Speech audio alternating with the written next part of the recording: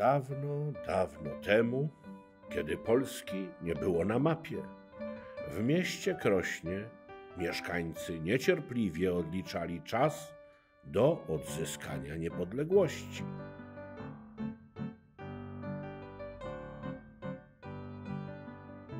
Wspólnie, a każdy w swoim fachu, napędzali miasto do zmiany czasów na lepsze.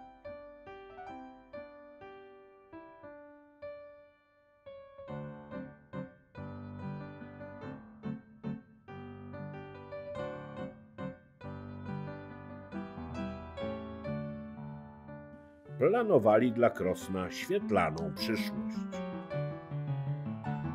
Były wówczas dwie organizacje, które wspierały legionistów i działały na rzecz odzyskania niepodległości: Powiatowy Komitet Narodowy i Koło Ligi Kobiet. Ich spotkania odbywały się w budynkach Towarzystwa Zaliczkowego i Towarzystwa Gimnastycznego Sokół. Nadszedł rok 1918. Wybiła godzina niepodległości. Dla miasta oznacza to porę wielkich przemian. Stare szkoły napełniają się nowymi ideami.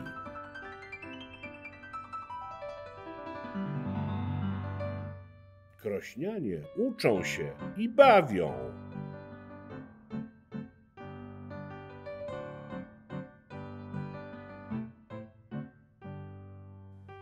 Na Bursakach powstaje nowy stadion.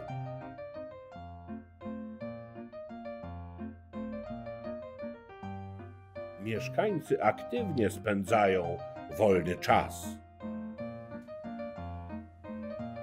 Społeczność miasta żyje coraz dostatniej. Rozwija się przemysł, szczególnie naftowy.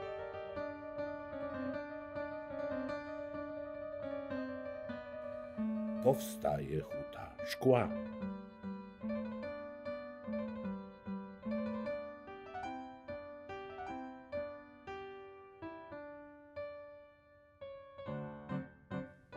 Kwitnie rzemiosło i handel. Krosno staje się nowoczesne. Prąd płynie już przez całe miasto. Nowym lotniskiem krążą samoloty.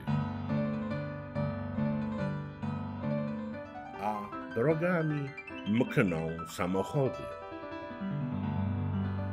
Ten ogromny mechanizm, zwany krosnem, wprawiany był w ruch przez mieszkańców, zegarmistrzów i zegarmistrzynie krośnieńskiej niepodległości.